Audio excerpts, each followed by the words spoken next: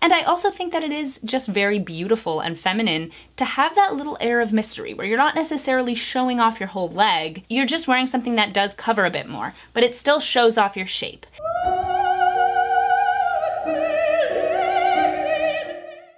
Hello classic crew and welcome to today's video where we're going to be talking about 10 classic fashion rules that the royals follow. So the first thing I want to do is thank Melissa Amy for submitting this as an idea for my content pitch contest over on my Substack. If you didn't know, I have a Substack newsletter which I would love if you would join and if you do you'll get access to exclusive content. You'll be able to get two exclusive videos every single month as well as weekly articles, live streamed Q&As, and you can submit your ideas for videos just like this one. And it all comes directly to your inbox, which is awesome. You don't have to try and remember to go to the website. It'll come right to your email.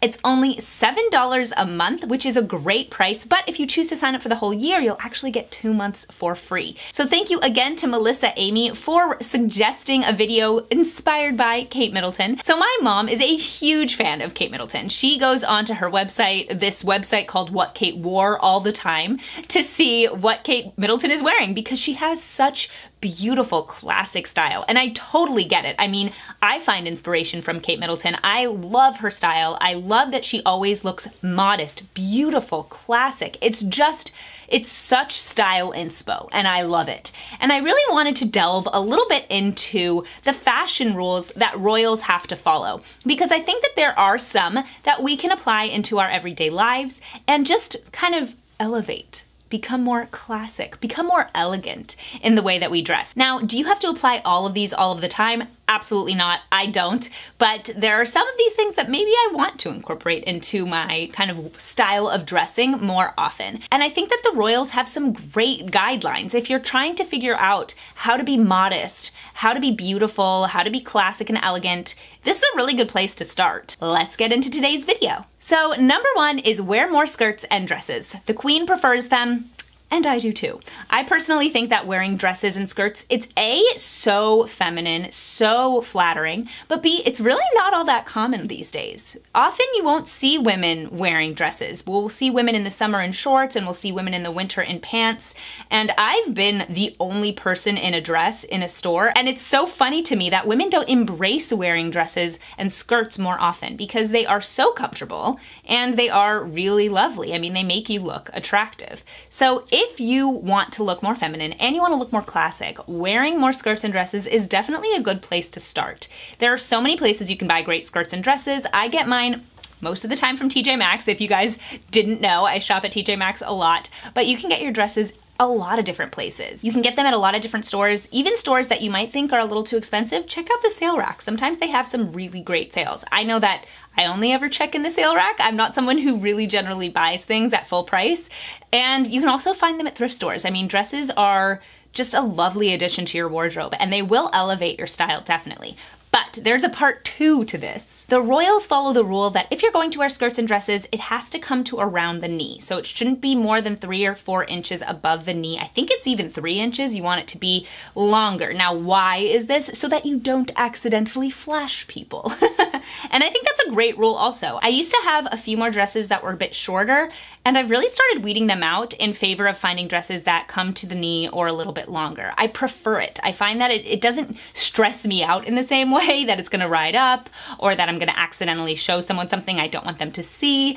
And I also think that it is just very beautiful and feminine to have that little air of mystery where you're not necessarily showing off your whole leg. You're just wearing something that does cover a bit more, but it still shows off your shape.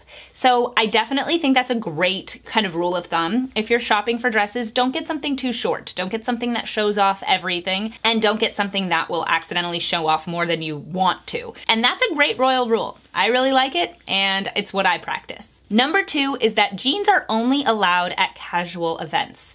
I think this is a great rule. I don't know why you would want to wear jeans to a fancy event. As somebody who doesn't have that many fancy events to go to, if I have a fancy event, I'm wearing one of my favorite dresses. I'm wearing something that I absolutely love and I don't get an opportunity to wear that often. I usually only wear jeans to really casual situations and I think that's a pretty good rule. I mean, if you want to wear jeans to be comfortable when you're doing something kind of active, that makes sense to me, right? If you're going on a hike or something, then yeah, I get it. But if you're going to a fancy event, don't do the jeans and a nice top thing. Wear a nice dress, wear a nice skirt, wear a pretty outfit. I think that that is much more classic and elegant. Number three is that colorful nail polish isn't allowed, but bare nails are. So you guys know I've had colorful nails in the past. I still enjoy them sometimes, but I think I'm kind of moving more towards having a sheer wash of kind of a pale nude color or a pinky color or something that's just a bit more natural. Now, I'll always like a red. I think a red is also very classic and elegant. But I recently got my nails done with my mom. Let's see if it'll focus. And as you can see, it's just a very light pink. I did get some flowers, which I'm guessing they're not allowed to do. But I do enjoy a very natural looking nail. And I also think that a bare nail is very pretty as long as you keep it trimmed and clean. And I think that that's a great rule. I mean, if you're wearing greens and purples and blues, which I've done, and I'm not saying it's terrible, it doesn't look as classic and elegant. And I think that having just a pretty neutral nail or a bare nail is a very classic and elegant, good rule of thumb. I mean, no pun intended. It's something that will go with everything and will just constantly make your nails and your hands look beautiful. I think maybe part of the reason they're only allowed to get lighter neutral colors is also because if it chips, you're not going to notice, which again, good rule. I mean, it's smart. So I think it's a nice idea to stick with more natural colors and I'm really enjoying my light pink nail polish.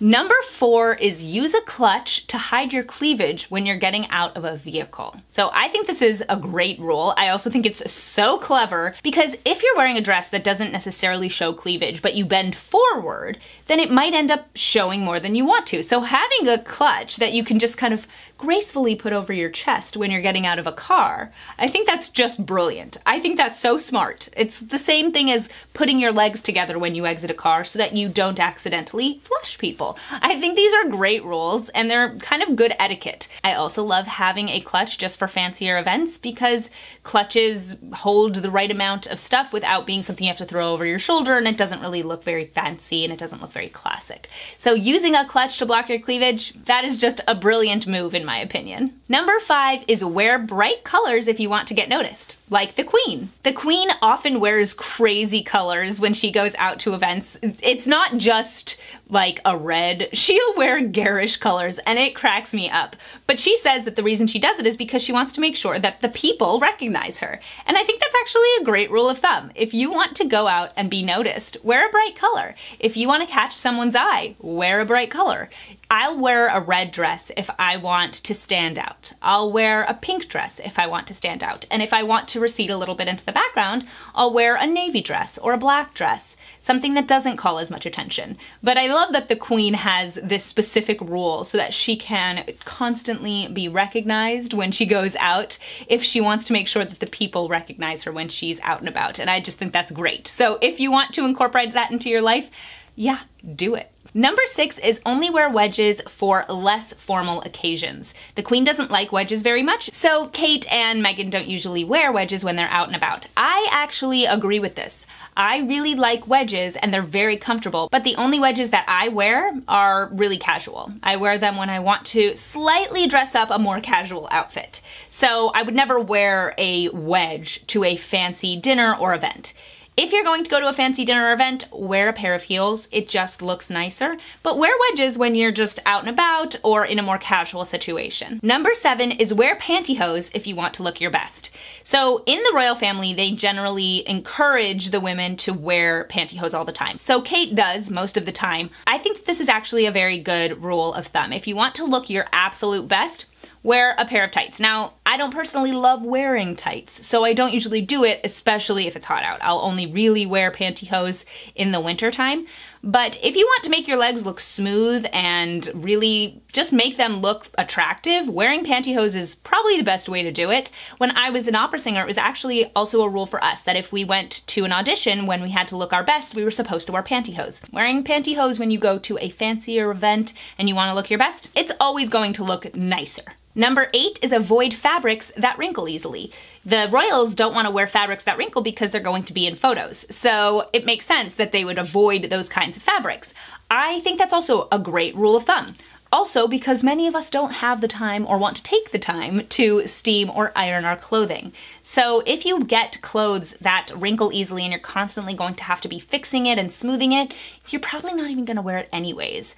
I suggest finding clothing that doesn't wrinkle that easily. And maybe you'll have like a couple pieces that do wrinkle, but for the most part, avoiding clothing that wrinkles, I think that's a very good rule. It means that you'll end up having clothes that do look nicer and more put together more frequently. Number nine is that heels shouldn't be too tall. Now, apparently, the reason for this is that they don't want the women to wobble when they're walking. Again, something I've talked about on my channel and I agree with, and they don't want the women to appear too tall. Now, I'm not obviously sure exactly what that means, but I kind of understand it. If you're wearing a silly tall heel, I mean, you're gonna look silly. There are certain levels of heel height that just aren't great. And I think that in the royal family, they encourage women to wear a sensible heel, a heel that they can actually walk in and they're not going to be in pain. So I agree with this. This is something that I am a big proponent of. Only buy heels that you can walk in. I bought a pair of heels recently. They are a little bit high for me. They're not the most comfortable. It was not the best purchase, but I was very proud of myself because I actually wore them in my Carmen music video, which I will link here. And uh, I actually, after wearing them for about 15 minutes, it was actually easy enough for me to walk in them. So only buy shoes that you can walk in. If those shoes that I had worn in my Carmen video, I actually could not walk in, I would just have to give them away or return them. I mean, you're not gonna wear them. They're gonna hurt you. They're not gonna be that attractive that you'll ever choose them over another pair of shoes. This is the real thing. So Yes, that is a very good rule and one that I highly recommend that you should follow. That isn't one that's like, oh, you guess you could or you couldn't. No. This is a rule that you just follow. Number 10 is that hair should look neat and natural. So no crazy colors, no weird updos, nothing like that. And this is a rule that I think that we should all follow. I think we should not get crazy hair colors. I don't think that that looks very classic or elegant, and I don't think that we should have our hair looking really messy. I think that we should have our hair looking as nice as we can make it look and get natural color, right? So I have color in my hair, but it is, you know, it looks natural enough and it's uh, highlights, so it's not purple or green or something like that. And I generally try to keep my hair looking neat and nice. Now, there are days that I do kind of more of a beachy wave and I embrace the wave in my hair.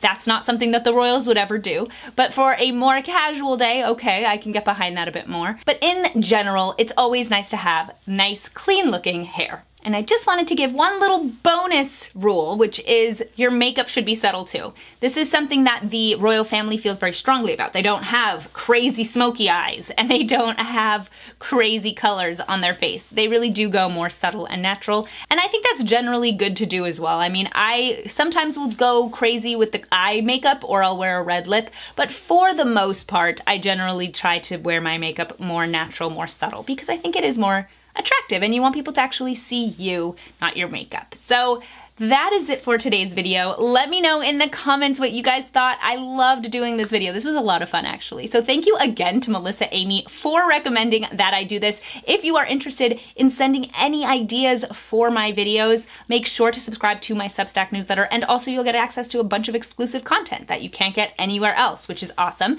Make sure to hit that notification bell so you get notified of all my new videos. And if you'd like to follow me on social media, it's at Classically Abby absolutely everywhere. Thank you so much for watching and I'll see you guys in my next video.